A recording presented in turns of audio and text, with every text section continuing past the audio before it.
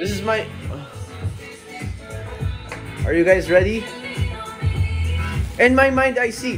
Thank you so much for the Viking ship. Sorry, hindi ko nakita. I was busy. Thank you so much for the Viking ship. So, this is my room.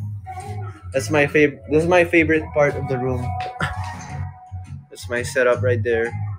It's my speaker, my laptop, my PlayStation, my chair, the door, and this. I think makalat na area. Like I don't use it. Parang tiyatambakan ko lang ng gamit. I have some may Jenga dun.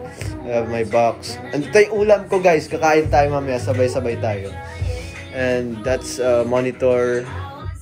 Pwede yung PlayStation dyan. And ito yung ito yung view. Ito yung view kapag papasok ka na ng room. Ayun. So that's my bed. Uh, okay.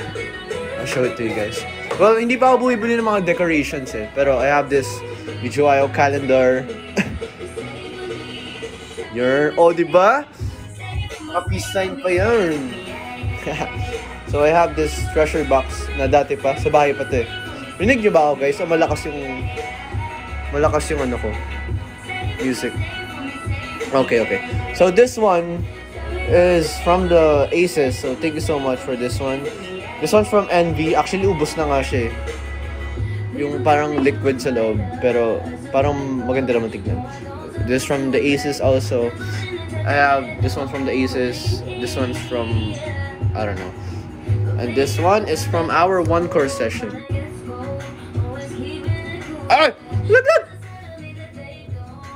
Hindi ka lumilipad, Swan. Okay, so I have the official magazines here. There's the BTS one and the wavy covers. Aircon ko. Sana all. So that's that's where I record the the songs. And yeah, that's it. I have my yoga mat there. Yeah, this is my bed. This is my bed. So um, yeah, nothing much naman sa kwarto ko. Maliit lang kwarto ko. The comfort room is like outside be- beside my door. So, yes! This from also from the Aces. Thank you, Ruth. Um, there's a chair. I don't know what else to show you. Oh, this one. Look at the lights. Ala, di pantay. Di ko kaya. Ayun, pantay na. So, yeah. Those are my neighbors. Pero hindi nyo kita kasi madilim na. Uh, yeah. That's it.